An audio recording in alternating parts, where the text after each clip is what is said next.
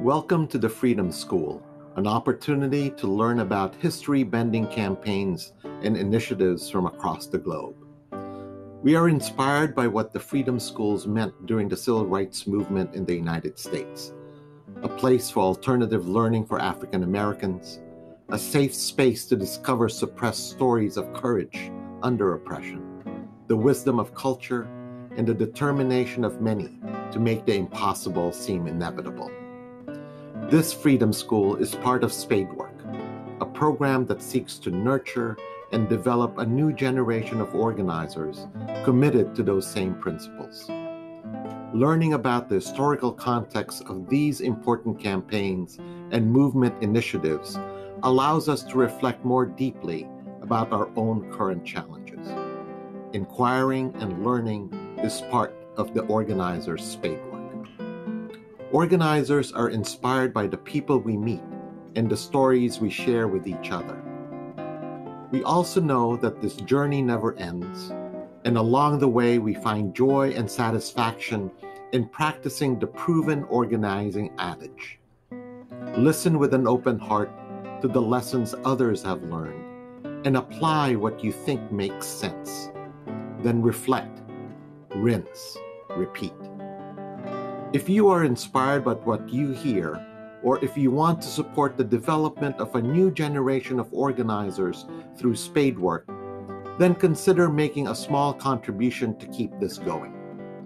Go to www.spadework.school backslash donate right now or simply click on the link on the chat screen. Enjoy your time together. Adelante.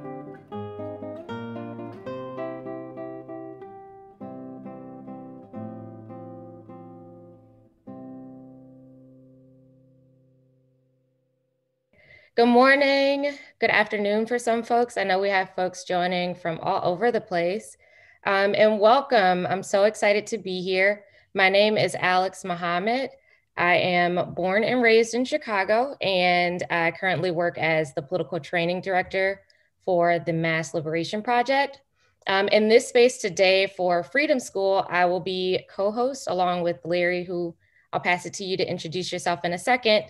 Um, but connected to the Freedom School, which we're participating in today, we recently launched what's called Spade Work, uh, which is a eight month intensive campaign development and training support cohort uh, for organizations and organizers who are on the front lines of responding to systemic racism. Um, I'm really excited to be digging into this conversation today and welcome to our first Freedom School.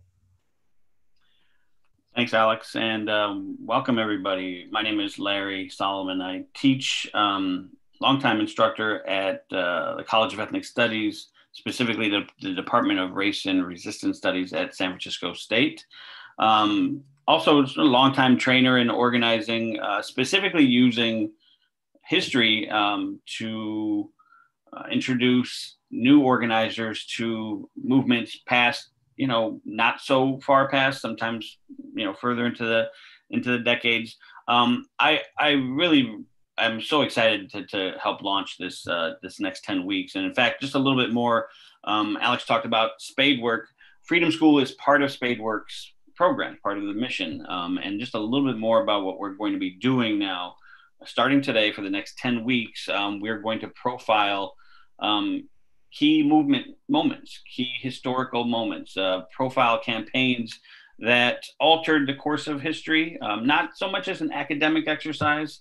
Um, I teach at a university, but I try not to think of myself as an academic. We're teachers, but we're also um, in community here. So we're going to have a bunch of voices in the next couple of hours talking about um, some really interesting history. And so for the next uh, 10 weeks, we're going 50, 60 years ago, and we're going just a few years ago. We're going to have some really great um, upcoming uh, episodes, for lack of a better term, and I'll kind of introduce some of those at the end of at the end of our session today. But um, I do want to also acknowledge, um, and you heard his voice in that video introduction.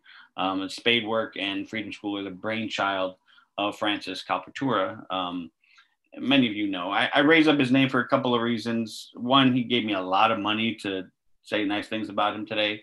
Um, you know, maybe not that much money. But anyway, Francis also um, in that introduction kind of made a really interesting point about the purpose of Freedom School, and I just want to again amplify that idea. Um, he said that learning from past victories, as well as learning from past mistakes, um, and being inspired by the efforts of the past, um, is critical for the development of, of organizers. Organizers learn from doing, but they also learn um, from these histories. And so that's what Freedom School is all about, and that's what we're going to try and accomplish over the next 10 weeks. Just a real quick programming note we are live streaming on YouTube. I always wanted to say that. Uh, we're live streaming on YouTube. Um, and YouTube is also, we're going to have a YouTube channel for Spade Work and Freedom School. So that's where um, these are going to live. They're going to be archived there. Uh, just give me a minute here to lay out the format for what we're going to now experience. Um, in a minute, we're going to bring on our main presenter and throw it to our guest, Prexy Nesbitt, um, who will be talking about the history of the anti apartheid divestment campaign in the United States. Um, Prexy is going to help lay out some of the context, highlight some of the key lessons from that era of movement work. Um, we're also going to be devoting a pretty good chunk of the session to question and answers. So please, I implore all of you, uh, use the chat to contribute your questions, your insights, your comments. Um, our folks here, our team here at the Freedom School will sort through them and we'll try to um, give them the light of the day in the second hour when we have our Q&A with, with Prexy. We've also asked a couple of respondents um, who are current participants in the program to share their reflections um, on what they have just heard, but also kind of connecting those lessons from the past to their current work. And uh, I think finally, before we, uh, like I said, before we close the session, we'll preview next week and the weeks beyond. Um, Alex? Thanks, Larry. Um, yeah, so now we want to actually introduce Prexy Nesbitt. Um, we're so grateful for you to be joining us today. Uh, Prexy is currently the president, uh, a presidential fan, fellow, sorry, um, in peace studies at Chapman College and was one of the key uh, leaders, like Larry said, in the anti-apartheid movement in the United States. Um, and one of the roles that Prexy played was as coordinator of the committee to um, oppose bank loans in South Africa. Um, so yeah, I would love for Prexy, can you, can you join us? Thank you for being here.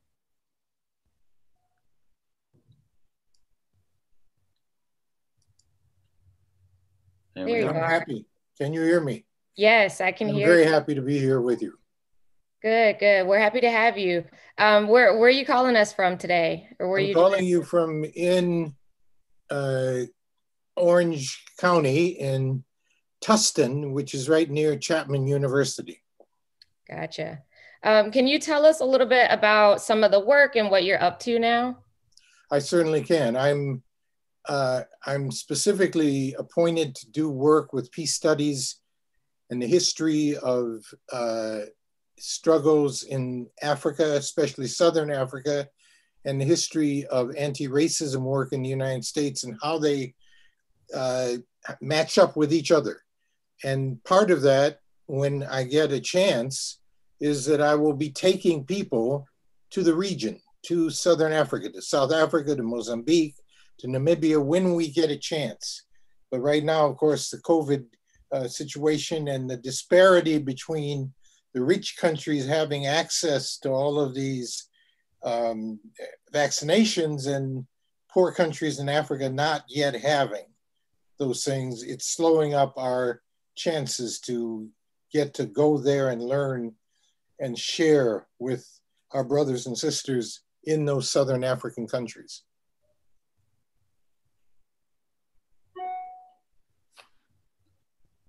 I just I want to remind folks again to use the the question and answer before we throw the the session over to Prexy for his presentation, which we're going to do in just a few seconds here. Um, you know, again, put your great questions. We will address them in in good time. But without further ado, and again on the history of the anti-apartheid divestment campaign in the United States, uh, here is Prexy Nesbitt. Prexy, it's all yours. Thank you, Larry, and thank you very much, Alex, both of you. I'm very, very honored to have the chance to share with you. And I'm particularly grateful to Spade Work and to my longtime friend, Francis, for the opportunity to talk. I really like a slogan that I saw that you all use in spade work. It's called listen, rinse, and repeat because it reminds me so much of something that we learned uh, in, in, in starting out this work of anti-apartheid work and solidarity work with the Southern African liberation movements. One of the people who was one of our great teachers was Amilcar Cabral. And Amilcar Cabral was from Guinea-Bissau. And Cabral used to say to us all the time, study the situation, know the situation, listen to the people, talk with the people, find out what this what there are what their issues are. And never forget that. And never depart from listening as a base of doing that work. And i want to share with you all that there's a wonderful new resource that's been done by a woman that some of you may know imani countess and her colleague bill minter that's a book a new work online about solidarity and i think that was one of the first things we had to do was to find what are the points of solidarity where we can work.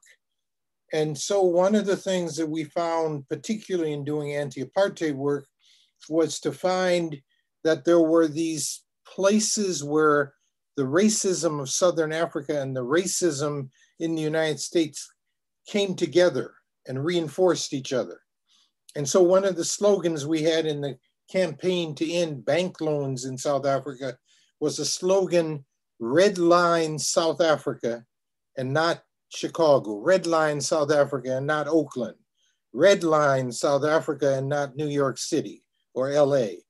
And it was that position of, of, of blanking out South Africa and its apartheid system and not and, and ending the systematic racism of banks refusing to give loans in the United States, this was a starting point for particularly the work of the bank campaign, the campaign to end bank loans that were going from US banks to the apartheid regime and financing things like them buying weapons, financing things like helping to make South African apartheid government a nuclear power these were important starting points that we felt were ways that you could reach out to people in the United States to have them really get engaged in this campaign to isolate the South African apartheid system. Now, I want to say from the beginning that the campaign was never just bank loans to South Africa. It was also things like getting people to stop buying the gold coin called the Krugerrand. It was things like stopping uh, schools and uh, pension funds from investing in companies that were doing business in South Africa, like Shell Oil Company. And you, we had then what was called the divestment campaign, which became huge all over the entire country. We had material support campaigns uh, raising money for the African National Congress in South Africa, raising money for the Mozambique Liberation Front. These were all also part of the overall rubric of the anti-apartheid movement, of, of, of this movement that had really, I think, as much significance as the civil rights movement had in the United States, but it's just not known, and there was no divorcing the two. It's not accidental that when Trans Africa, the organization headed by Randall Robinson out of Washington, D.C., when they started doing the weekly, daily demonstrations against the South African embassy in Washington, D.C., it's not an accident that some of the leading civil rights figures all were walking that picket line outside of that embassy. And it became, out of all of that came what was called the Free South Africa movement. And there were demonstrations across the whole country against any installations that represented consular places for the South African government. And those demonstrations grew and grew. and they all became what was called the Free South African Movement. Now, there was at the same time going on also uh, direct solidarity, direct support, raising money to give to the African National Congress, to give to the MPLA in Angola, to give to the Mozambique Liberation Front in Mozambique. And we saw all those struggles as they did in Africa as indivisible, as very related one to the other. And I think the other thing that we must put forward too is that these were, we were part of an international movement. The anti apartheid movement was duplicated in Canada. We regularly met with people from Canada. We met with people from England. We met regularly with people from Japan, with people from Jamaica, with people from Ghana. This was all part of the international anti apartheid movement. And let me hit a couple of other points, and then I want us to see some footage so that you get a sense of what this looked like physically. I'll come back to these points, but I think there are two that I'd like to hit for a minute. One that I'll come back to is that we struggled with doing multiracial work in a racially polarized world. That's point one, number one. Number two is that the anti apartheid activists that were doing this work, they're still at it. I think one of the first things we learned was that was not to be sprinters. We weren't sprinters. We were doing long distance work and we realized that. And so it's not accidental. But so many of the people who did anti apartheid work are still at it, still doing the progressive work that needs to be done throughout the world. I think if we could look at a little bit of a film that's been done recently about coming from Nelson Mandela's visit to Chicago, I think it will help give us a basis, a visual basis for this.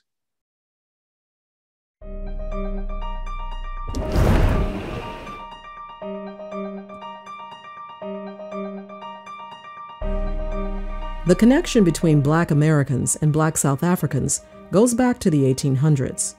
There were African Americans in South Africa uh, as early as 1819, and they were there as sailors. A major part of the commercial trading sailor network was African American. That early group of people, you know, were treated differently than black South Africans, but they still recognized what was going on in terms of the way that black South Africans were treated. The enslaved sailor on the left traveled to South Africa on this Confederate ship called the Alabama. There's even a South African song dedicated to the ship.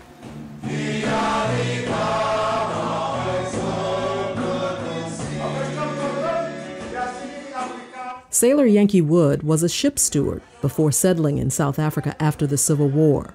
Wood made money during Johannesburg's gold rush in the 1880s and purchased hotels. In 1890, musician Orpheus McAdoo and Virginia's Hampton University Jubilee Singers spent five years in South Africa performing show tunes and spirituals. Coming for to carry me home. If you get there before I do, coming for to carry me home. By the early 1900s, Black Baptist and African Methodist Episcopal churches sent missionaries to live with South Africans to teach the Bible and care for orphans. The AME church began to be banned inside South Africa because the South African state began to see them as encouraging opposition to the way that uh, black South Africans were being treated.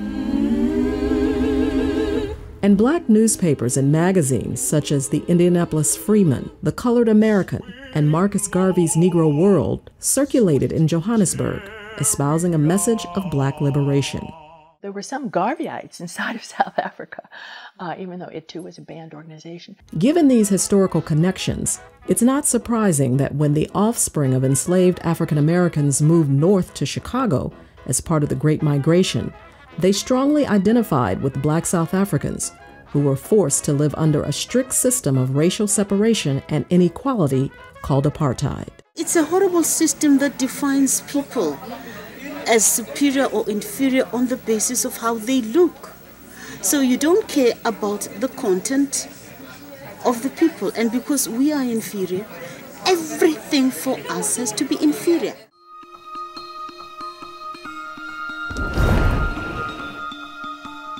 Fast forward to the 1970s when black South Africans started coming to Chicago regularly. Made a list the other day of the some 78 different South Africans who stayed in my house on the west side of Chicago.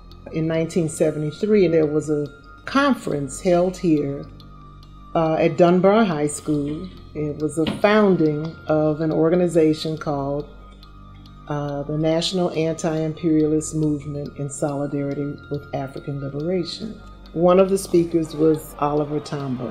That was an electrifying experience.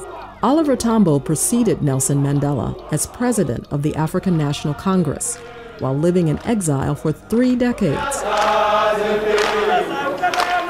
It was only after Nelson Mandela was released from a life sentence for plotting to overthrow the white racist government that Tambo was able to return to South Africa. It was a learning experience to actually speak to people who had actually been on the ground in South Africa and who had uh, experienced uh, pretty much some of the same things that I had experienced growing up in the South. And there were so many public forums and educational activity and a constant thrust of keeping the eye on this brutal regime of a minority European descended population in control of a majority black country that that just seemed uh, outlandish in the minds of, of everyday people. Here in the Chicago area, we have 21, 22 different anti-apartheid organizations. We had a committed grouping of people who were very versed in the relationship and how it all came together with the struggle in this country and the struggle in Southern Africa. When I'm talking to people about Southern Africa is to make the connections between what's going on in Chicago and what's going on in Southern Africa.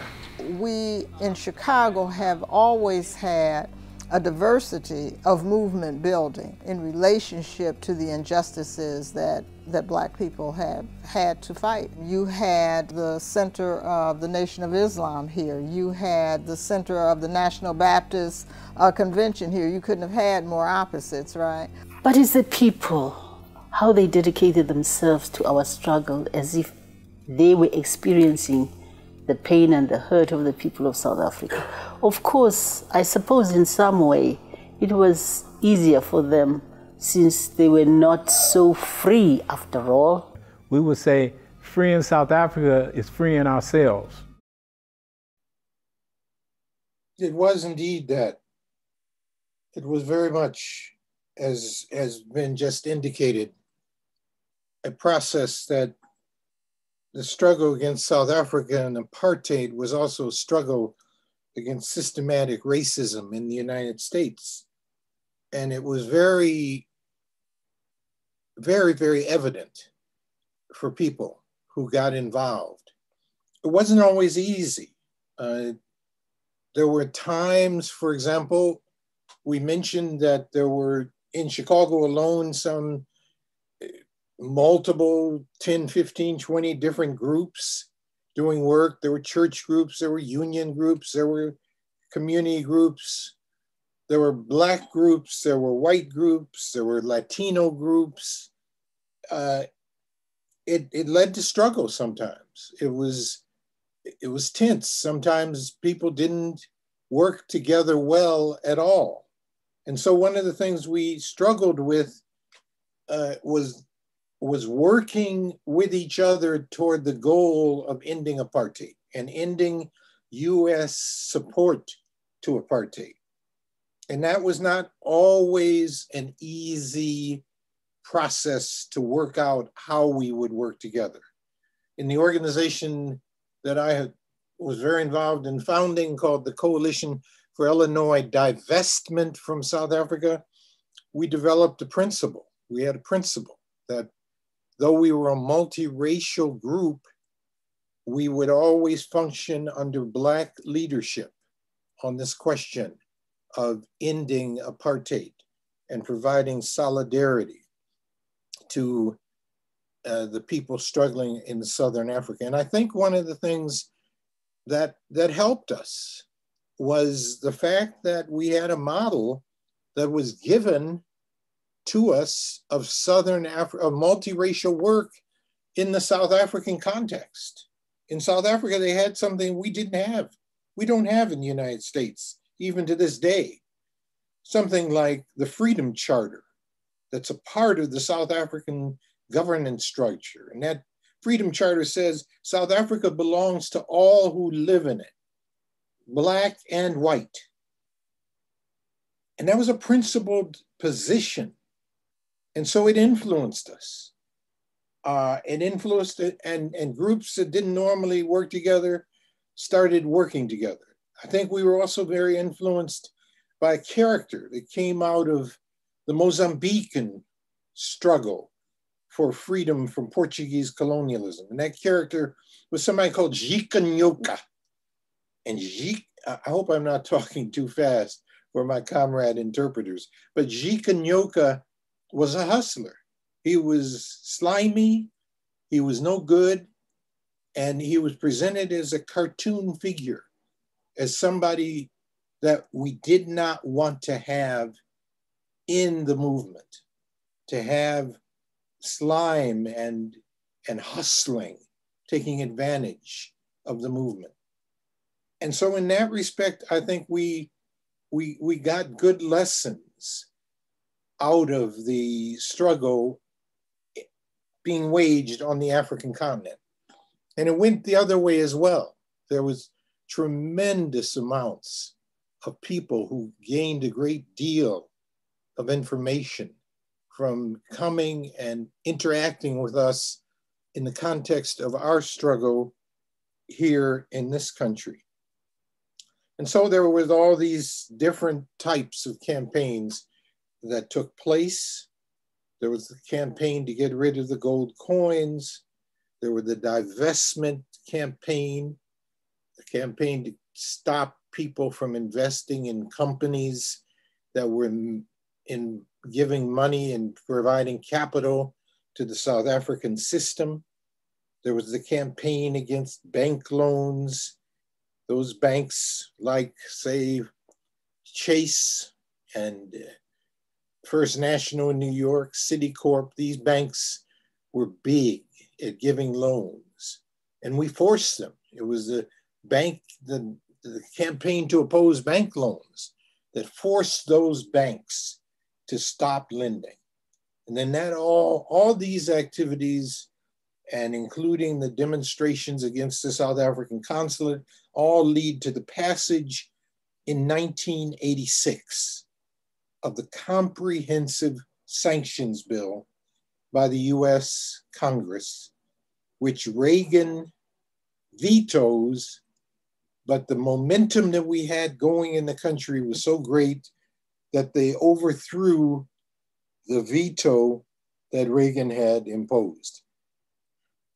Then, one of the things that I think was one of the crowning wonderful moments of this whole struggle was when the great congressman from Oakland, Ron Dellums, announced to the world that the veto vote had been taken and that Reagan had been defeated. And so this was a major, major development when the United States passed the Comprehensive Sanctions Bill and led to many other Western countries taking their money and their capital out of supporting the apartheid system in South Africa. There's another kind of group, and I'll we'll, we'll look at a bit more footage, but another group that's to be saluted in all of this and another principle that we adopted was that of working with institutions that would go with making pressure, isolating the apartheid regime. And US churches did a particularly good job, some US churches. And the other body was the World Council of Churches, which began giving direct support to the liberation movements. Uh, it wasn't support for them to, to do the armed struggle, but it was support for them to, to, to, to pro- provide material aid to their cadres and to their members. It was very important symbolic support that came. And that was related to the support that people started giving to liberation movements, ordinary people making contributions to the African National Congress, ordinary people making contributions to Namibia's Southwest African Peoples Organization. This was, I think, an important step that we reached.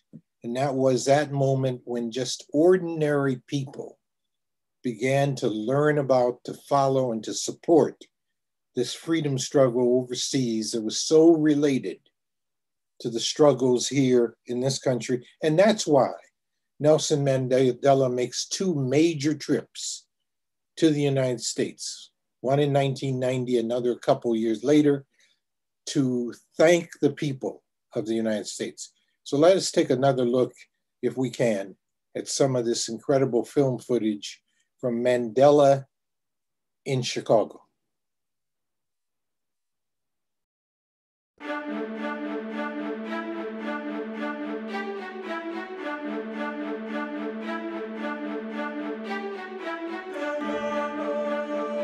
We started out as a small group of individuals, residents of Chicago, who were able to create, first of all, legislative changes. We really were able to get our governments, local and state governments, to divest money from South Africa. It doesn't mean that there weren't down moments, that there weren't moments where it was sort of a grind, that there isn't some disappointment in what's happening in South Africa and how their problems, some of their problems are so magnified now you know, that they are having such difficulties. It doesn't mean that I don't have hope that they can continue to develop into a more egalitarian and and and safe society. You know, but I want that here too, right? There are studies that show that African Americans still suffer from the effects of slavery and discrimination. And we are more than 200 years past that. South Africa has been at it for 24 years. It's been a terrible disappointment to all of us that whites still own so much of the land, that they still control so much of the economy, not just because they're white, but because it's oppressive, unjust, and unfair, and because it makes for an economy that still oppresses Africans. Victory continues in South Africa. The struggle is still certain because some of the major changes that needed to be made have just not yet happened. Black South Africans, in many ways, in terms of the conditions of their lives, haven't experienced a lot of change. But what they have now, that they didn't have before, is the opportunity for that to happen. We wanted to show our children that the world was bigger than the west side of Chicago. We felt that was so important so that they could have a concept of the world.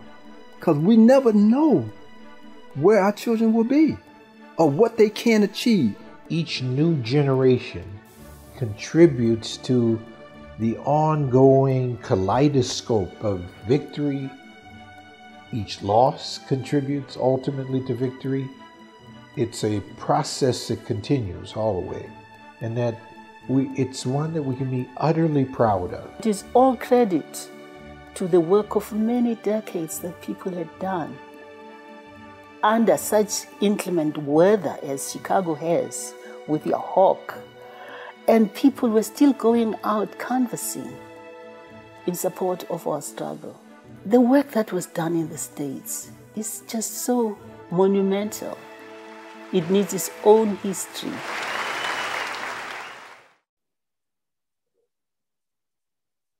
I think we could uh, maybe open up. Uh, uh, I'm guided by Francis in this question, and I think the only other point that I would like to make at this at this juncture is is the point that was made by uh, Cheryl speaking in the film, and that was that that, that, that victory is a, a continuous process.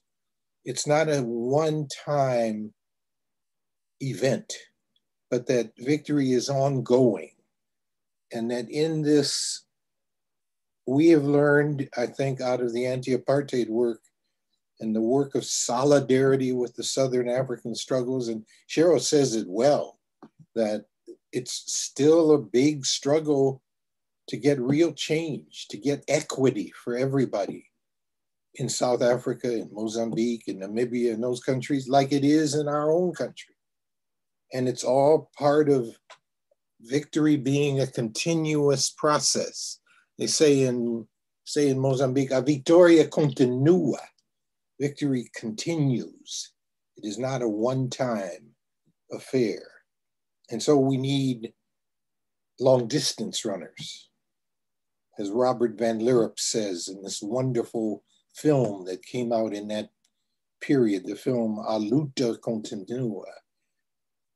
As he says there, we're not sprinters, that we need long distance runners, people who are in it for the long haul.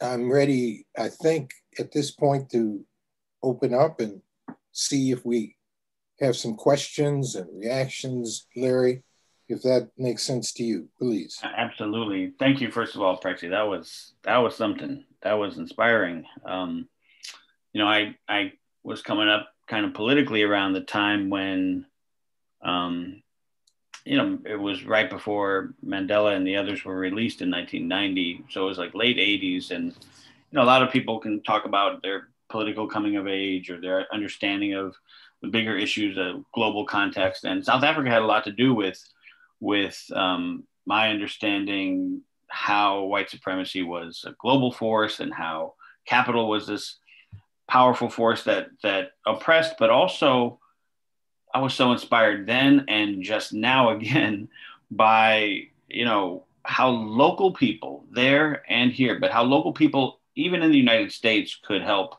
impact um, what was happening on the ground 10,000 miles away. It, it really is. I, I, I, don't have a particular question there. I just wanted to kind of bring that up again that um, this is a story about solidarity, but it's also a story about organizing. And the organizing that I'm kind of curious about is on the ground in Chicago, in the Bay, and other parts of the, of the country, especially dock communities, port communities.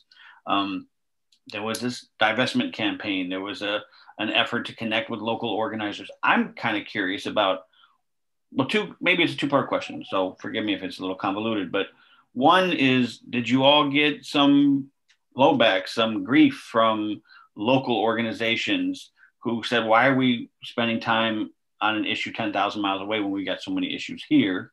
And then the other question is, um, what were the ways that you might have engaged with unions and, and others in that sort of fight around, around global capital? Those are excellent questions. And of course, we, we had to develop, uh, we, we had to learn things as we developed answers to those questions, responses to those questions.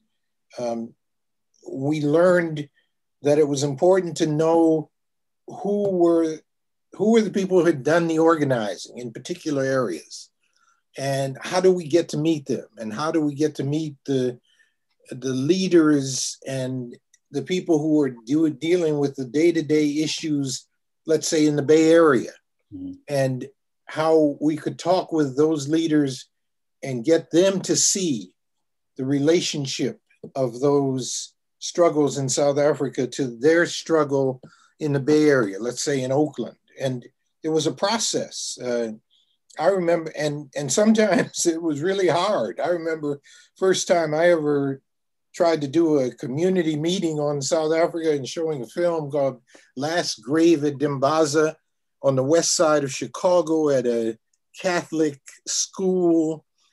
The temperature that night was 30 degrees below zero and three people came out to see this film me, a cousin who had no choice, and the nun that opened the doors for us to come in there.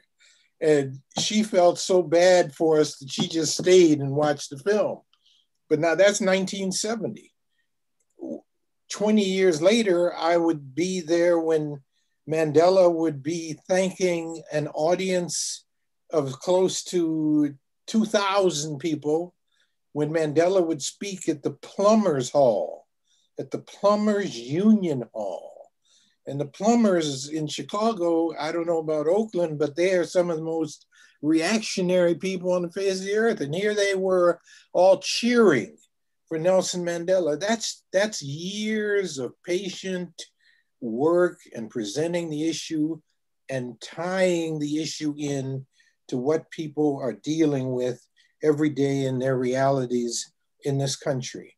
And that was that was a process. There's no shortcutting that process. Um, and I think in that process too, the other thing we had to often contend with was uh, dealing with our own racial tensions with each other. Mm-hmm. Uh, that film mentions that we were in the city of uh, very strong nationalist groupings. Uh, in the beginning, Farrakhan and those people, they didn't want nothing to do with working with any white people on this question. And the, the groups that were integrated groups just kept at it. They kept sledging away at it. We had to knock on doors where white people wouldn't even open the door if there was a, a black person standing with a white person outside. Um, all of that took many years of work to do, patient, patient organizing work. And I think that that has proven itself to be very important because the other thing it then fed into was also the election in 1983 uh, of Harold Washington as the mayor of the city of Chicago. And I had the great pleasure to work with Harold Washington as a special assistant. And I remember him saying to me one day, he said, Nesbitt, I sure am glad to have you working with me because I sure don't want you working against me. Mm-hmm. But this is the same man who would later, would later, before his death, welcome SWAPO freedom fighters to the city hall of Chicago with, you know, some of the most racist people in the world shaking the hands of freedom fighters from Namibia. So I think this it's all about the, the long, hard trek you have to do to make organizing pay off. I, I, I want to amplify that point, and then I'm gonna throw it to Alex if she, Alex has a comment or question too, and then we'll open it up to the Q and A from from our audience. But that point about this long haul, I, I'm just so struck by that image of three people watching this film, and then 20 years later, what you just described is is such a is such a leap. So I like the idea of long distance as a theme here. Long distance in terms of U.S. and South Africa physically, geographically, but also this long organizing marathon, which is one of the points we we raise in organizer training all the time. Like the, the big moments, the big celebrations, the, the marches, the the dramatic kind of events. Those are the things that typically get talked about in kind of mainstream history of, of the of the tell, but I, I, appreciate the, the, the the slow kind of respectful work that, that gets done. Um, Alex, saw you. Alex, just before you say anything, let me just mention one other quick thing. Mm-hmm. There's a film done by a Oakland Berkeley filmmaker, Ain't Gonna Play Sun City. Mm-hmm. And it's a film about, I think her name is Connie Fields. And it's a film about one of Mandela's visits. And on that visit, there was great difficulty because Mandela was the new president. So many of people in this country wanted Mandela to speak to the situation of African Americans in the United States, and he didn't. He didn't. He came as the president. He didn't speak to that. He was also being attacked because he was going on to Cuba. So he was being attacked for that too. But he comes to Oakland, to the stadium at Oakland. And at Oakland, he makes this long intervention about Native Americans. Incredible description of Native America. And in the film afterwards, you see this Native American woman start crying, just remembering that Mandela had spoken to her situation. It's just one of the most beautiful things. And Mandela spoke to that situation. And in doing that, I think he was really also speaking to the African Americans as well, because he did, he saw no separation between those two struggles. I'm sorry, I just wanted to throw that in because it's such a wonderful thing for people to take a look at. Yeah, no, I appreciate that. Thank you. Um, thank you for your presentation. And uh, yeah, I absolutely have questions. Um, so yeah, my uh, it's always super inspiring and helpful for me to piece uh, history and just information together. Um, particularly being Chicago native, um, and also my my great grandfather was the Honorable Elijah Muhammad. So I grew up um, in the Black Muslim community in Chicago.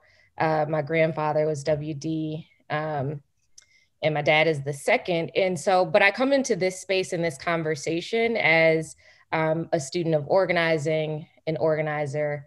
Um, and my the first question that came to mind for me is just what was can you say a little bit more about your particular role in the movement and those responsibilities?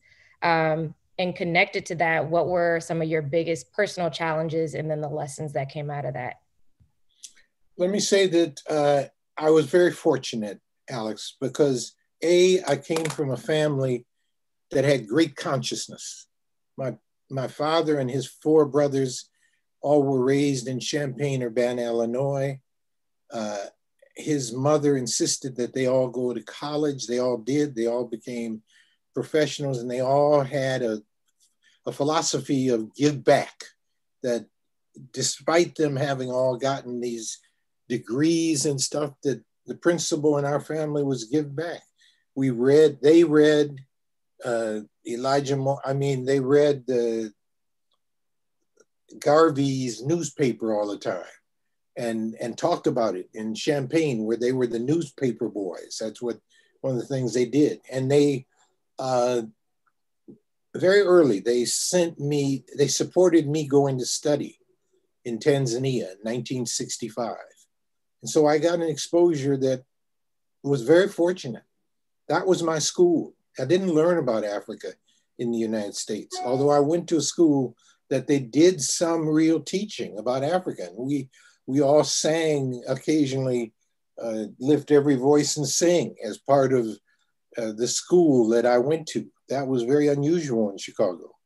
But uh, I, out of Africa and going to school in Africa, I then began to meet South Africans. My roommate had walked, literally, had walked out of South Africa all the way up to Tanzania.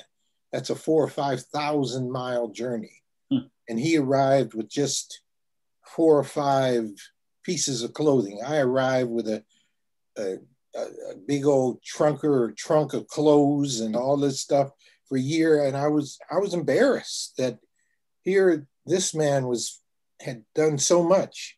So that was the beginnings for me, Alex, of saying, uh, this is about more than me just getting a college education and making a big salary. Uh-uh. It was about how do we give back. That was in my family a very important principle. We we were on the west side. You you coming from Chicago, you know about the gap between the west side and the south side.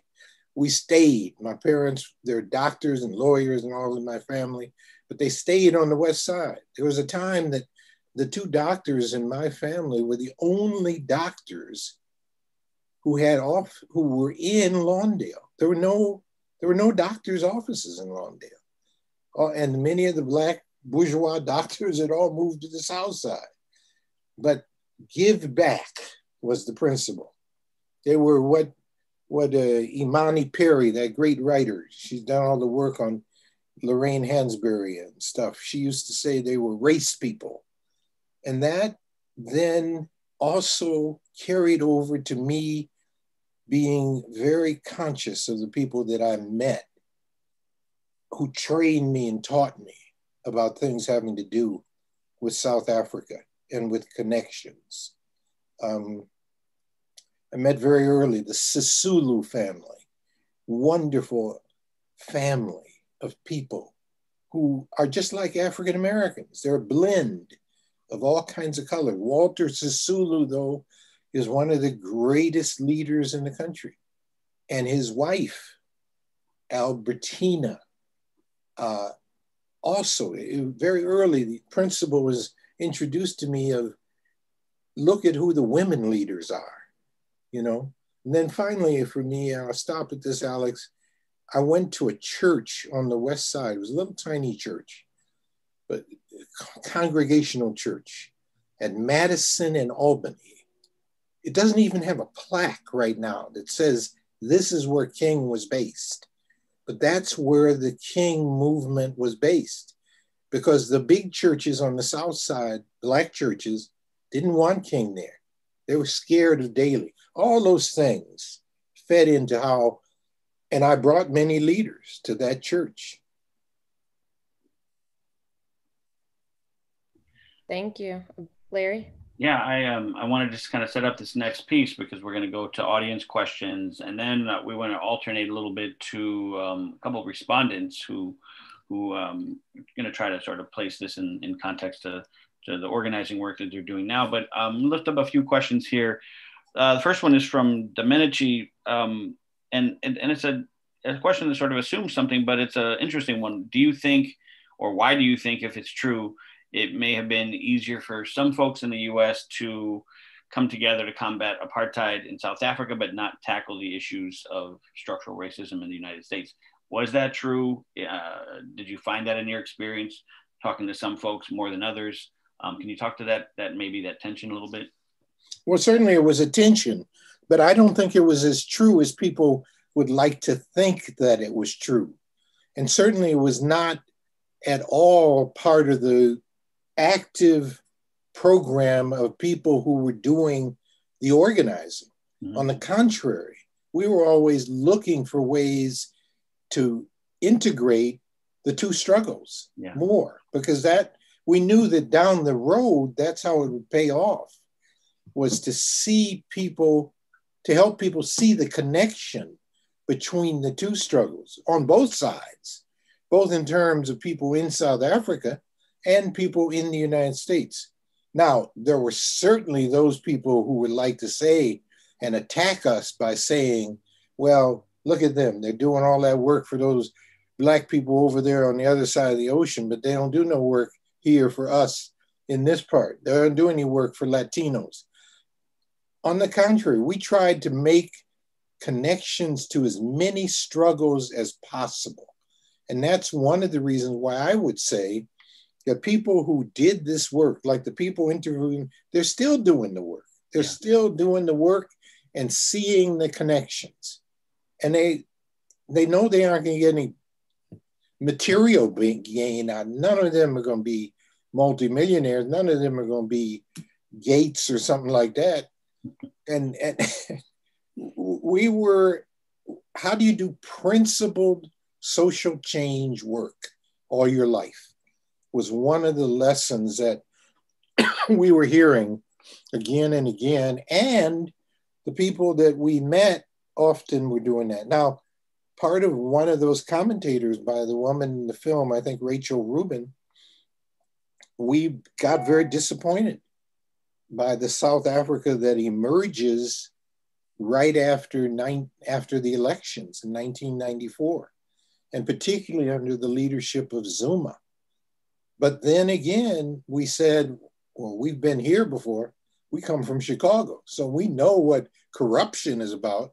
So we just have to fight that corruption in South Africa, just like we fight the corruption in Chicago. Uh, another question from someone we'll hear from soon, Shemaya Bird, um, asks about how supportive schools were in the divestment campaign and how supportive unions were. And I think the school part might be in two pieces, right? Because you all targeted institutions like universities, but were there other um, schools or you know educations of even higher learning that that offered support as campaigns went along? And then, can you talk a little bit about the unions um, in, in, more detail? Sure.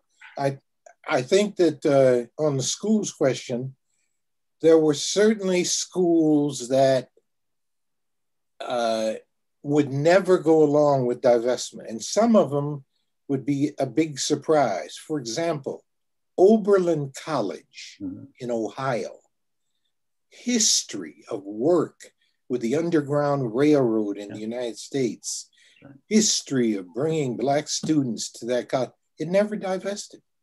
It never divested. And coming into all this, assisting schools to avoid divesting was what was called the Sullivan Principles that were enunciated by a Black minister by the name of Leon Sullivan, who put to, he, he got appointed to the board of General Motors, a big investor in South Africa.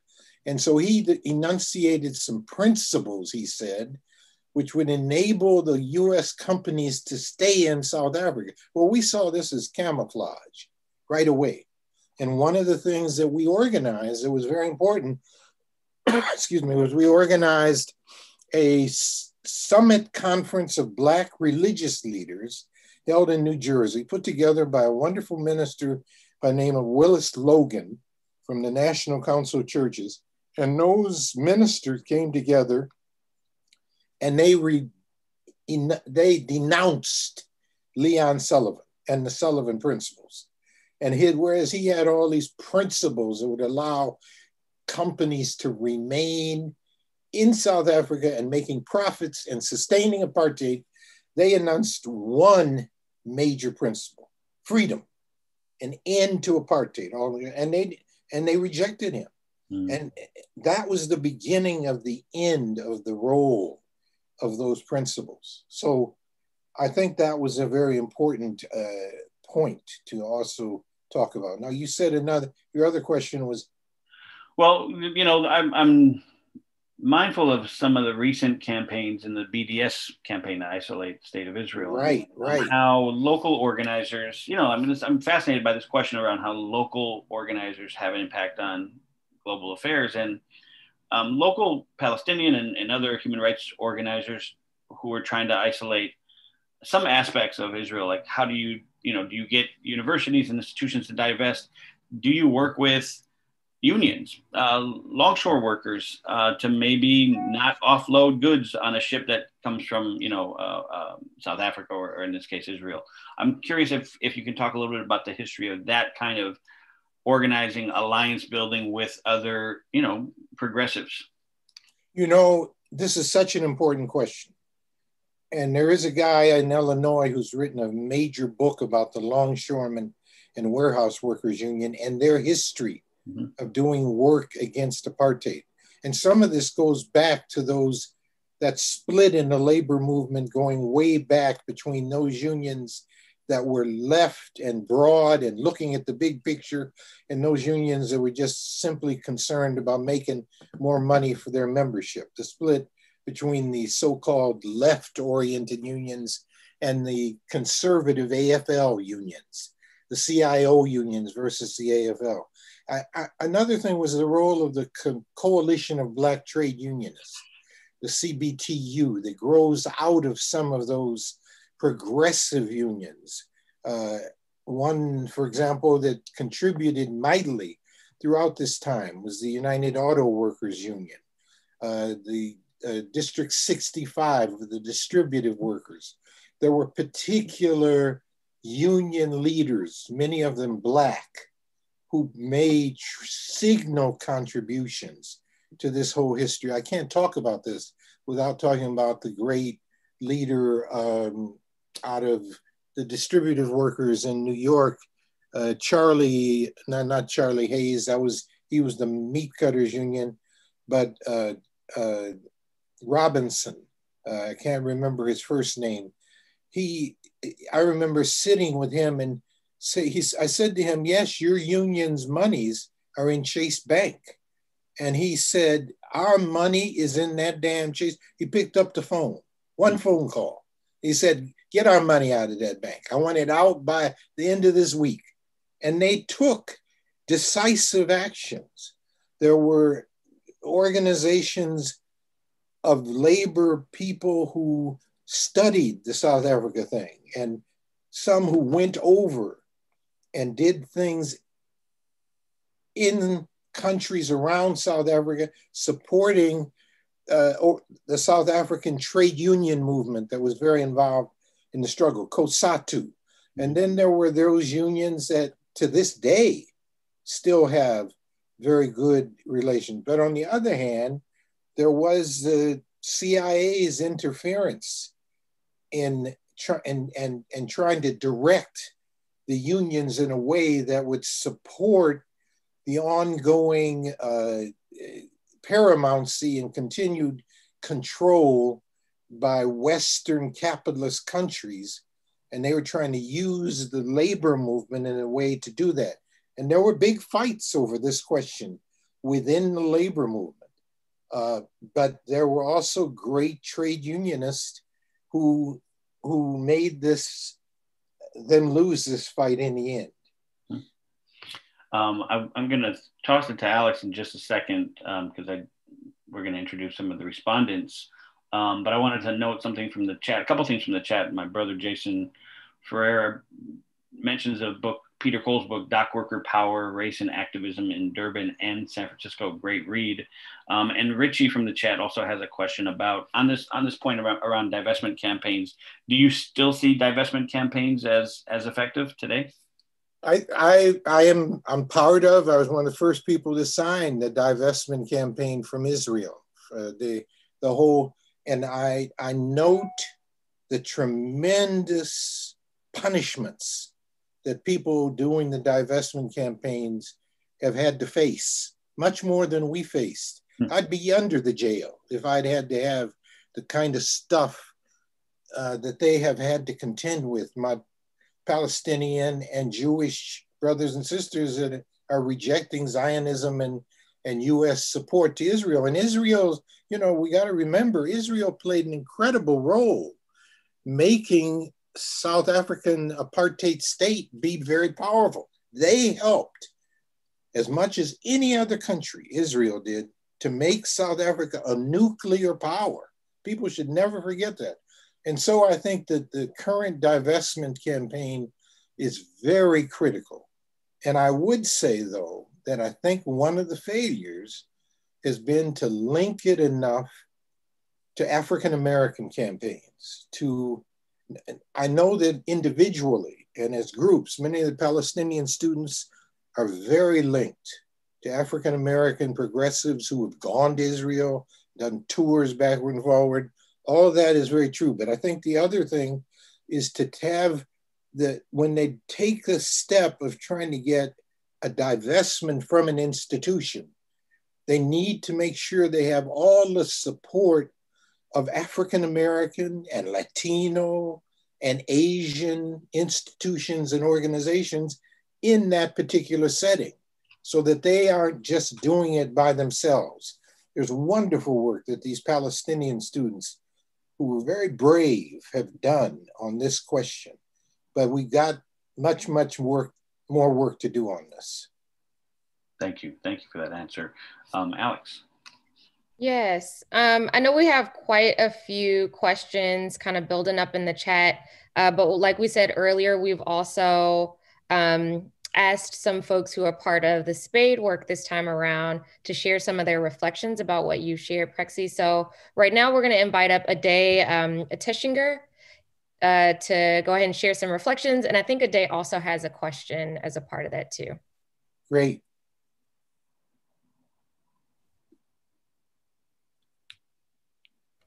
Good morning, everybody. Good morning. I thought I lost us. It was just switching gear.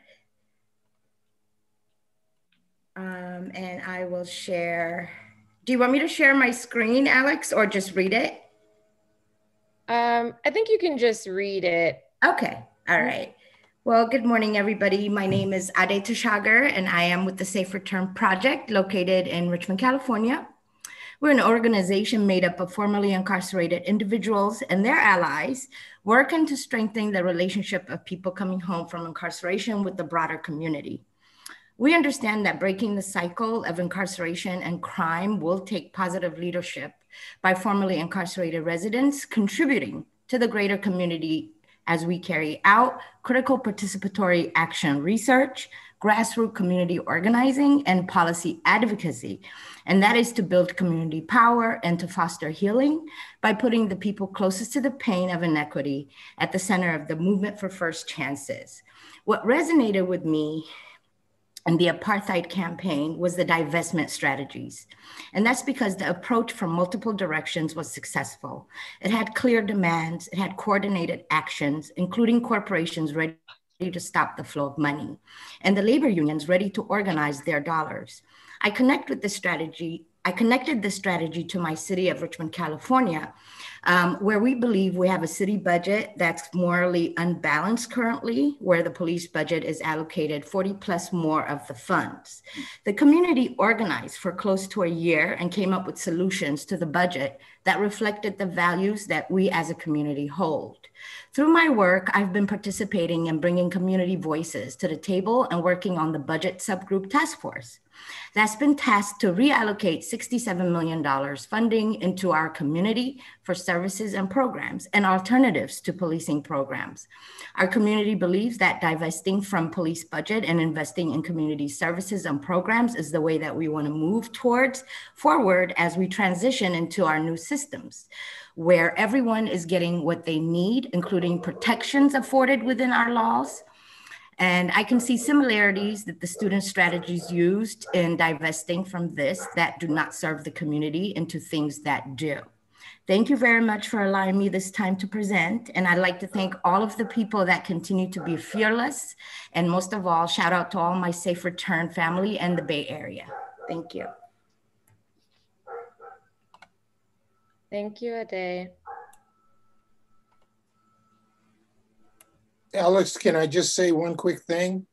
I, I so salute Ade because I have long wanted to work in Richmond because I've heard such wonderful things about the work that has gone on in Richmond. And I hope that she will take a look at the work that was been done around Gulf, oil, and Chevron, which were very involved in supporting Portuguese colonialism in Angola. And I remember work done connecting people to uh, protesting against those two companies in the Richmond area. And I totally support the, the effort to try to break the cycle of uh, people investing in those companies that are continuing incarceration and supporting patterns and institutions that do incarcerating. It's it. I, I'm just saying that they're working in a tradition of a long history of Richmond and it's made Richmond a very famous place already. Yes. Um, I want to share two questions, one of which is from Ade. Uh, so the first question is What role did religion play in the struggle during apartheid, especially for the South Africans who didn't belong to a church? Uh, and then the second question that we have is how did the movement navigate multiracial work in the US? Um, what were the tensions and difficulties in doing this? Some of this is uh, best addressed in uh, a very um, there's a wonderful book called No Easy Victories it's obtainable and there's a website with it. The question of the racial tensions is talked about in that book, No Easy Victories. And I think the the the big uh, there were no there was no boasting, no nobody told lies. There was no not confronting tensions and issues and talking about them. That was very much a part of it. I think another part of it was there was no discriminating against people based on religious orientation, whether people were religious or they weren't religious, what type of religion they had. Those were not uh, guide stones as to whether people could participate or not. It was uh, very open to different people from different faiths all that was asked was that people would be consistent and respectful of other ways that people contributed. Um, I, I think in this respect, we were very much influenced by some of the extraordinary church people that we saw come to the United States. People like Bishop Tutu, the famous Nobel Peace Prize winner, but also people like Allan Boesak, the uh, leader of the United Democratic Front, one of the leaders, uh, a figure not so well known, or a man like Frank Chikane, also not a known figure, but we knew that many of the religious leaders in South Africa were paying the ultimate price, and some paid with their lives to participate in those parts of the struggle that they could. In fact, there were some who even said that South Africa had crossed what they called the, the, the kind of boundary line and that their principles said that they could participate in even acts of violence to try to end the apartheid system, just like some people did when Nazism was around and there was a movement to get rid of Hitler.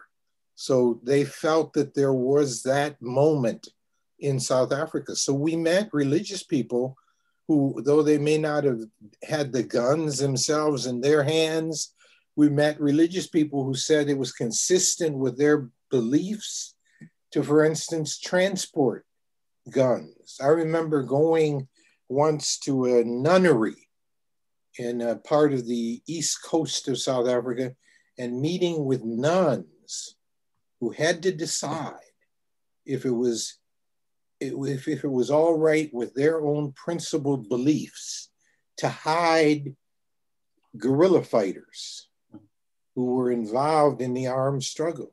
And many of them decided it was all right. And so I think when you meet people who are like that, it helps you be very clear about what you believe too. And we did a lot of that. And I think there's many people who were part of the all over the United States who you may not even know yeah. that they were part of the anti-apartheid struggle who are just quietly working away based grow having grown out of that into other struggles That's that's tremendous answer. Um, I wonder if Alex, if you want to introduce our next respondent, um, and then we'll get back to the uh, questions from the chat. Yes. Um, next up, we'll have Shamaya Bird, who is also based in Chicago uh, with Soul, Southsiders Organized for Unity and Liberation. Good afternoon, everyone. Um, I am Shamaya with Soul uh, south side of Chicago, born and raised. Um, Soul is a faith based grassroots organization who believes that our faith, um, we are called by our faith to fight justice for all, especially those who are historically marginalized. Um, our mission is to assist low income people of color in Chicago, South Chicago, and the suburbs, uh, then leverage that power for them to fight in their own interest and liberation. One of the things that resonated with me the most um, was allyship and just building um, that power with different institutions and one of the campaigns that my organization Soul is working on right now um, is Budget for Black Lives. And that's a divest, invest community. There's um, a I guess I should say a more national campaign just around defund the police. And so, um, as you were speaking, Mr. Nesbitt, about allyship, it just resonated with me and how we go about um, building allyship. But one thing you said in particular um, was Black leadership. And I think that's important to lift up and emphasize um, in a fight for liberation for Black people and for marginalized people, and how important that Black leadership is. So I definitely appreciated that. And I, I did have one question um, if I have time to ask. Um, it's just around, um, I guess it's more of an extension of what you've already just expressed around religion. But um, with my organization being a faith based faith based organization, we do work with many different um, congregations, and so I just want um, want to ask if you could explain a little bit more about allyship with different congregations and and how that was um, in this fight against anti-apartheid as far as um, bigger or bigger like congregations and then more local um, in chicago especially. Thank you very much Shemai. can you hear me? Yes. Yeah. Uh, thank you very much and i I, am very, I know Soul. Uh, uh, though I don't live anymore, I only moved from Chicago about a year ago and was very, very active and, and very close to a lot of people that, and I think I have met you before, Shemaya. I'm not sure of that, but I want to say that I think one of the things that uh, Chicago affords more than any other city that I know is the opportunity for people from different faith traditions to stand in solidarity with other people of other faith traditions from other parts of that city. For let me give a concrete example. The shooting recently of that Latino brother, that young Latino brother who had raised his arms, had no weapons, and the police blew him away it strikes me that that's a moment that religious leaders of different faith traditions could should stand out and say i am i can't remember his name i am was his name tony? I think his name was adam. Adam adam toledo. And adam toledo i am adam toledo. That an exercise a manifestation of Black leadership would be that Black religious leader leading a Black congregation, let's say on the far South Side, who says to his congregation, I am Adam Toledo. Because that's the way we stand in solidarity with each other, particularly in a history, in a city which has a history, a proven history of playing off different oppressed groups against each other. Yeah. That's been a proven history of the city of Chicago and how it administers that city. And I think it could be such a powerful statement to have a number of Black religious leaders say, I am Adam Toledo. That's the way we're going to win this thing, I think. I'm going to jump back into the questions. We have a really interesting question that actually is not specific to the divestment campaign. It's it's more broadly speaking to organizing skills, and we have a lot of organizers in training a lot of budding organizers. Probably some of my students from my organizing class are here today, who might want to get into this work long term. And uh, the question is, what's one of the most effective ways to get ordinary people to care about and support your cause. And it reminds me just of the question that I ask all organizers: what what are the skills that translate um, across decades, across generations? What what are the skills that an organizer has to have to communicate to regular folk about these important issues? What what would you kind of teach an organizer around their skills? I think that's an excellent question. And the first skill that the first skill I think that we have to have is listening how do we listen? And out of that listening comes our capacity to be able to respond to people in a way in which we are not leading or manipulating them, but following their concerns and wedding their concerns to our involvement and action. I think another skill is how do you convey things how do you convey information to people without intimidating them, yeah. without scaring them, without uh, overwhelming them. And I think that part of that is the ability to say things quietly but consistently and not scare people. People are very it's it's a it's a country that people are scared to death in. Yeah. Every aspect of life in America scared the hell, and particularly now, particularly now. So we have to develop greater skill at listening to people, greater skill at consistently presenting our information in a way that's not intimidating. And then lastly, by our example, how we conduct our own lives is very, very important.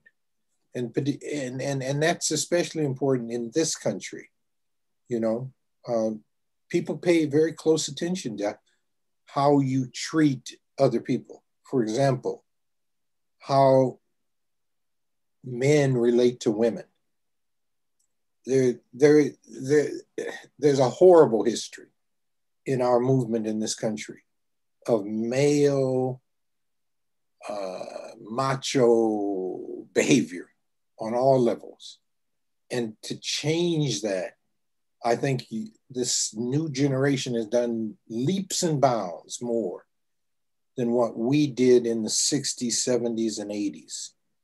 And so that it's behoven, it's, it, we, we uh, older, uh, what, what's that expression young brothers and sisters we use? Old school. Old school people like me have to be very very respectful very careful of how we deliver any discussion. Because there's so many ways that your generation has much more capacity to communicate with each other than what we did and i think we have to be very respectful of that so respect respect is a fundamental Mm-hmm. It's a fundamental way that we have to develop all the possible ways we can say to people, we respect you. Thank you. That's a great question. Great answer. Alex has another question, I think, from the chat. Yeah, we're we're down to our last few questions. Um, uh, this question I'm going to ask actually came up in slightly different ways a couple of times, but I'm going to read this one specifically. Um, the question is What practices of personal or self care and community collective care is needed for long distance running? Um, uh, and, and there's a couple comments around organizers that are burnt out. So, what tips, best practices, or lessons do you have around both self care and community care? Um, for folks who are entering the work knowing that it is going to be long-term work? Uh,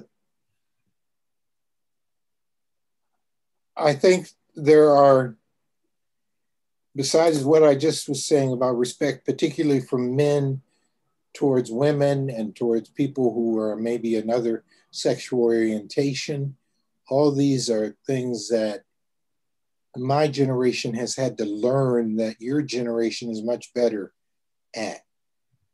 I don't think we sing enough. We don't sing. And I think that song is an important way of sustaining one's energy and beliefs. Song and poetry. Uh, I, I, I was very much my mother was very close friends to Gwendolyn Brooks, the great, great poetess from Chicago. So in my family, we read poetry to each other at every meal. Every meal, somebody presented a poem. And there was no looking down on poetry and song. And so I don't think we sing enough and we don't recite enough poetry to each other and it's one of the in all those liberation movements that I worked with, including some I didn't work with, like the Vietnamese struggle. Poetry was everywhere. I don't think that's accidental. I think often poetry incorporates our best values. And so reciting these poems to each other, writing poetry for each other is a way of perpetuating and continuing, extending those values. And I think one of the greatest value, you know, is this thing Che Guevara, the great Cuban revolutionary. He, he, he wrote once, the revolutionary is motivated by the highest feelings of love. Well, I do think that's important. And I don't think we should be fearful of it. And the churches often and religious leaders propel us forward to articulate that. But I don't think we need to wait for them to articulate that. And that loving one another is an important component of our capacity to continue going. We aren't going to get monetary awards. We don't get, you aren't going to be, you aren't going to be a Jay Z with lots of money from being an activist. But what you will get is the undying alliance, allegiance, and respect of people and of long generations of people, you know? And I think that's what we have to aim for is much more ways of gathering that love force and I don't mean it necessarily, I'm not talking about romantic love, I'm not talking about a, a soapy, emotional love, I'm talking about a, an allegiance love that is important to sustain our ability to do the long distance work and keep our heads high and our shoulders strong to, to sustain ourselves. Thank you for that answer. Um, that I, that reminds me of a question I wanted to ask earlier, and from the chat about kind of the current moment, and and it's uh, I'm just curious what you think are some of the the exciting things happening in organizing right now, organizing anywhere in the world, frankly, but anywhere that you feel there's impact and potential, something to be built upon. Um, from your experience as an organizer and someone who's still active, where do you see kind of the hot spots, the, the interesting organizing that's happening today around what issues, what organizations? I well, clearly, I think one of them is one of the greatest ones is around the whole issue of Black Lives Matter. That in fact, we're saying much more than that. That it's Black, it's all lives matter, but it's our version of all lives matter. It's not the white supremacist counter to that. It's saying most oppressed have been Black people and Indigenous people and Asian people, Asian poor working people. But that out of that, we're saying we recognize the interrelationship and the, the uh, interlinkedness, if there's such a word, of our struggles, one to the other. And so we teach each other all the time and I think that's one of the most exciting things that's going on. I am so impressed at seeing generations of white people, some old, some very young, generations of Black people who are embracing those white people in very dangerous situations. You know, in the midst of this struggle that this that there are legislatures that have the gall to instrumentalize people taking their cars to mow people down. The gall to do that is such a callous comment about this country and its values. It's worse than like a shotgun. It's like taking your car and making it an MR rifle. Mm. And I'm impressed with all the young people who, despite that, are, are for fearlessly going out and facing that. And that moment I don't see them as black or white. I just see them as fearless. It's a new color. It's an admirable color. I, I, I want to see grandchildren. I want to see grandchildren who grow into that color of the fearlessness of asserting what their values really are. Well, Alex and I, I think, have a couple of closing remarks, and then I, I um, want to preview next week as well. Um, Alex, do you want to jump in or? Um... um, yeah, I would just say that this has been um, just a really wonderful conversation, and I appreciate you um, being here and sharing with us. Uh, when you started the conversation um, with the statement that this is a, a, a, long run and not a sprint, that was one of the first uh, kind of pieces of information that my first mentor shared with me when I started organizing. Uh, and she said, you're, you're, entering a marathon and not a sprint. Um, so it was um, uh, really warming and a good reminder to kind of start this conversation off. Um, and I think some of the the pieces later in the conversation that you were speaking to around um, the sustainability of our movement being in in love and respect, um, and and also what I heard a lot of you saying is growth, right? The the arc of um, growth and development um, and stronger, sharper uh, analysis among generations just feels really um, like a really good place to to land and end. Um, thinking about the Freedom School and some of the folks that we have uh, as as participants in that cohort uh, really are the new generation of organizing. Um, and so I'm glad that they also got the opportunity to be a part of this conversation and and, and share some of their reflections. So thank you. Thank you. It's a great, great pleasure to hear your comments and very invigorating for me too. I just want to echo that. Um, and I love the fact, Prexy, that you were able to weave this really interesting history. By the way, launching this Freedom School series um, the next 10 weeks is a really great start in weaving a, a history, a complex history, but a history that um, you were not, you know, you didn't shy away from kind of updating us. You didn't shy away from making this contemporary. You kept the, you know, it was like sort of this is one long back to that theme, right? Uh, Vincent Harding used to write about there's a river, right? There's a sometimes movements ebb and flow. Sometimes they have great force. Sometimes they're at a trickle. The river metaphor is really interesting in movement work, but I love the fact that you were able to kind of weave this history and bring us up to the present as well and, and, and see this sort of this long continued struggle. So I, I very, very much appreciate um, uh, this lesson. And this is, we're going to get a lot more of this in, in the coming weeks, but it's such a, a great start. So thank you, Prexy. Appreciate it very much. Well, I appreciate both you and Alex very much. And I hope to be sitting in the school as much because uh, I, I want to be informed about each session so I can continue. And I also want to thank our interpreters, uh, those, those two wonderful sisters that I only got to talk to a little bit, but I know what an invaluable role you are contributing. Um, it is a river. Vincent Harding used to say, there is a river.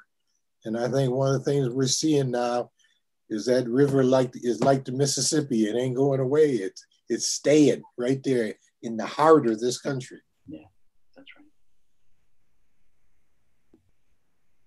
Alex, do you um, maybe want to get a word from our sponsors, and then we'll we'll wrap by talking about um, future events. Yes, yes. Important word from the sponsors. Um, so, yeah, thank you everyone um, for being here and being engaged and active in the conversation. Uh, if you were inspired by what you heard in this session and want to keep it going, please go to the link that's going to pop up in the chat right now and make a donation. Um, and the donations and contributions that you make will go towards the development of organizers through Spades work. Um, and so, like we said earlier, Spades Work is a new national organizing training program to nurture the next generation of, of organizers of color. Um, for example, like Ade and Shamaya, uh, who shared in today's session. Um, those two uh, organizers are uh, members and participants uh, and organizers in our first cohort of SpadeWork. And I think we have a slide for next week's session. So if that's possible to, to put that up there. Next Tuesday, May 4th, um, from 10 to 12 Pacific Standard Time, but wherever you're coming to us, um, we're going to have it. We're going to profile a campaign led by Native groups to prevent the construction of the Keystone XL pipeline.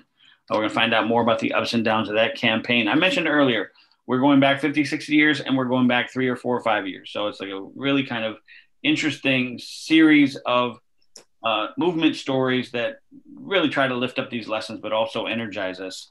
Um, find out more about that campaign, and, that eventually led to the declaration of this year by President Biden to halt the construction of that pipeline. Uh, it'll be led by a good friend of ours, um, Judith LeBlanc from Native Action Project. She's also director of the Native Organizers Alliance. Uh, we're really, really looking forward to that.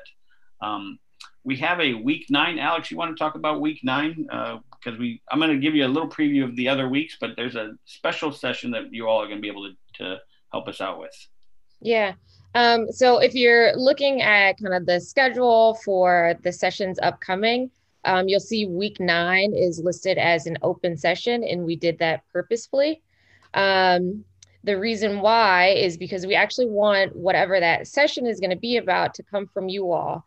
Um, so week nine is June 21st of Freedom School. And so if you have a suggestion of a campaign uh, that specifically bent the arc of history, whether it was in this country or somewhere else around the world, um, or, and or if you have folks who have intimate connection to that struggle and that fight, um, please let us know by sending an email to admin at spadework.school. Um, and then if you're going to contribute and make suggestions for that, just make sure to do that uh, by the deadline, which is May 31st.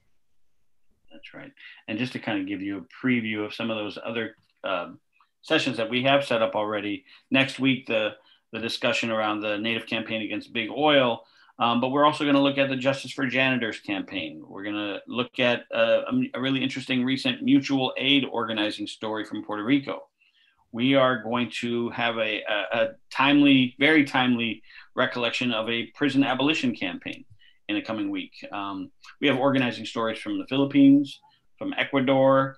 We are going to get a really great inside look um, from movement participants. Again, all these are from movement participants um, from the great uh, the grape boycott, the UFW grape boycott.